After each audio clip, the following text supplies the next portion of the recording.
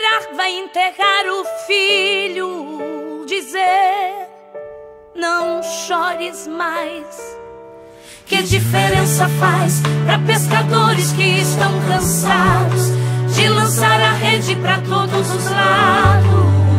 Dizer: Lancem uma vez mais cinco pães e dois peixinhos Pra uma multidão. De mais de cinco mil Pra um pai que acabou de